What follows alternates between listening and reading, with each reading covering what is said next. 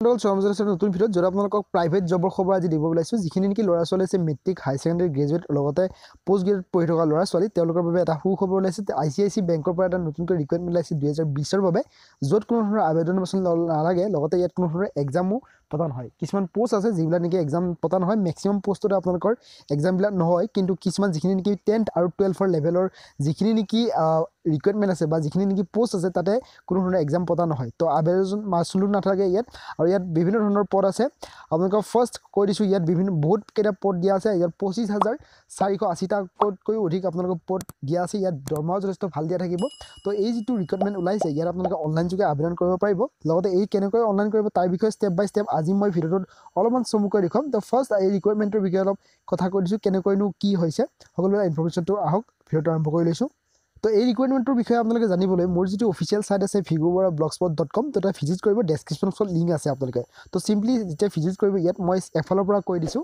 ইয়াৰ যিটো name of the organisation সেইটো হৈছে I C I C bank I C I C বেংকৰ organise কৰিছে তো তাৰ বাবে দিয়া আছে I C I C bank ইয়াত বিভিন্ন ধৰণৰ পষ্ট দিয়া আছে য'ত মই কৈছিলোঁ যে পঁচিছ হাজাৰতকৈ অধিক পষ্ট আছে। তাৰে ভিতৰত পষ্ট নেমবিলাক দিয়া আছে এইচ আৰ মেনেজাৰ য'ত ব্ৰাঞ্চ চেলছ মেনেজাৰ আছে account manager relationship manager branch credit manager senior officer আৰু লগতে আৰু বিভিন্ন ধৰণৰ পদ আছে। ইয়াত আছে চেলছ ৰিলেশ্যনশ্বিপ তাৰপিছত প্ৰবেশ্যনেৰী অফিচাৰ ইয়াতকৈ দিয়া আছে আৰু পষ্ট টোটেল পষ্ট দিয়া আছে পঁচিছ হাজাৰ চাৰিশ আশীটাতকৈও অধিক। তো ইয়াত যিটো এপ্লাই এপ্লিকেশ্যন প্ৰচেছটো হ'ব সেইটো অনলাইন যোগে কৰিব লাগিব।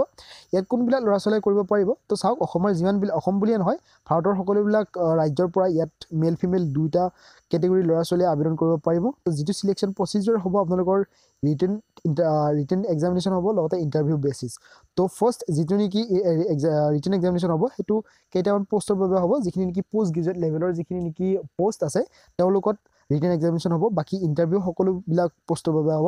লগতে টেন্থ আৰু টুৱেলভৰ যিখিনি নেকি লেভেলৰ পষ্ট আছে তাতে কোনো ধৰণৰ ৰিটেন এক্সামিনেশ্যন পতা নহয় ডাইৰেক্টলি তাতে ইণ্টাৰভিউ পতা হ'ব। তো নেক্সট যিটো আই চি আই চি বেংকৰ চেলাৰী ইয়াত চেলাৰী আপোনালোকৰ মিনিমাম চেলাৰী থাকিব বিছ হাজাৰমান পোন্ধৰ হাজাৰমানৰ পৰা ষ্টাৰ্টিং হ'ব যিখিনি নেকি টেন্থৰ ৰিকুৱাৰমেণ্ট আছে।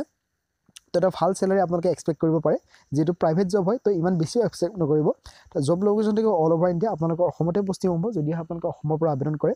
ইয়াত আবেদন মাচুল নালাগে কোনো ধৰণৰ। ফাৰ্ষ্ট কৈ দিছোঁ এজ লিমিটৰ বিষয়ে। ইয়াত মিনিমাম এজ হ'ব লাগিব আপোনালোকৰ ওঠৰ বছৰ। যিখিনি নেকি ওঠৰ বছৰ হোৱা ল'ৰা বা ছোৱালী আছে তেওঁলোকে এই ৰিক্ৰুইটমেণ্টত আবেদন কৰিব পাৰে।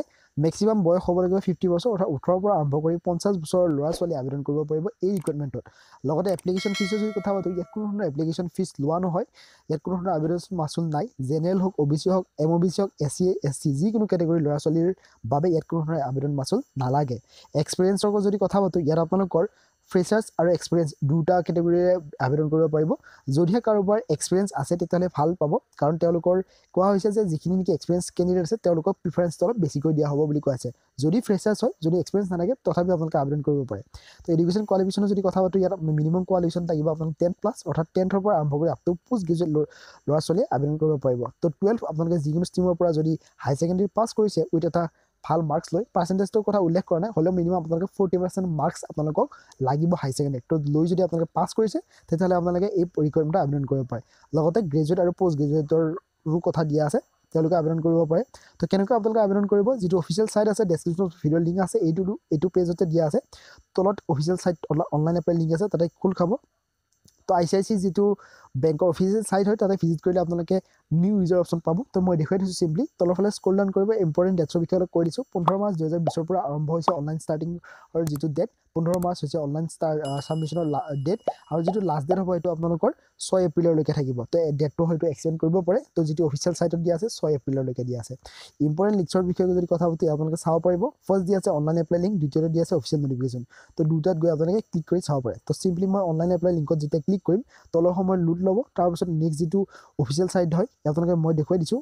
I C I C career Assam তো আপোনালোকে চিম্পলি এইখন হৈছে অনলাইন এপ্লিকেশ্যন ফৰ্ম তো প্ৰথম কথা আপোনালোকে ইয়াত এখন ৰিজিউম আপলোড কৰিব লাগিব। তো ৰিজিউম কি হয় কেনেকৈ কি আপলোড কৰিব লাগিব ডেছক্ৰিপশ্যনত ভিডিঅ' লিংক আছে। ৰিজিউমটো হ'ল আপোনালোকৰ বায়'ডাটাৰ নিচিনা এখন। সকলোবিলাক ইনফৰ্মেশ্যন আপুনি কি জানে কি নাজানে মা দেউতাৰ দেউতাৰ নাম এক্সপিৰিয়েঞ্চ আছেনে নাই সকলো ইনফৰ্মেশ্যন এখন ফৰ্মেট য'ত ফটো চিগনেচাৰ থাকিব তো সেইখন আপোনালোকে ইয়াত চিম্পলি বনাই লৈ আপোনালোকে আপলোড কৰি দিব। তো আপলোড কৰাৰ পিছত যিখিনি নেকি জেনেৰেল ইনফৰ্মেশ্যন আছে যেনে ধৰক আপোনালোকৰ নিজৰ নাম বা মিডল নেম লাষ্ট নেম তাৰপাছত আছে আপোনালোকৰ mobile number gender pin number PAN নাম্বাৰো আছে তাৰপিছত mobile number PAN number date of birth আপোনালোকে সকলোবিলাক চিলেক্ট কৰি প্ৰচিড অপশ্যনত ক্লিক কৰিব তেতিয়া আপোনালোকে নেক্সট ষ্টেপ এটাত গুচি যাব য'ত থাকিব আপোনালোকৰ একাডেমিক ইনফৰ্মেশ্যন আপোনালোকে আপোনালোকে কি পঢ়িছে কি পঢ়া নাই সকলোবিলাক ইনফৰ্মেশ্যনটো থাকিব একাডেমিক ডিটেইলছত তো। একাডেমিক ডিটেইলছত যোৱাৰ পিছত আপোনালোকে যিটো ৱৰ্ক এক্সপিৰিয়েঞ্চ যদিহে আপোনালোকৰ ৱৰ্ক এক্সপিৰিয়েঞ্চ আছে তেতিয়া দিব নাথাকিলে দিয়াৰ প্ৰয়োজন নাই। ইয়াত কোৱা কোনো কম্পালচৰি বুলি কোৱা নাই কিন্তু জাষ্ট কোৱা হৈছে যিখিনি নেকি এক্সপিৰিয়েঞ্চ থকা ল'ৰা ছোৱালী আছে তেওঁলোকক প্ৰিফাৰেঞ্চটো অলপ বেছিকৈ দিয়া হ'ব। তাৰপাছত থাকিব আপোনালোকৰ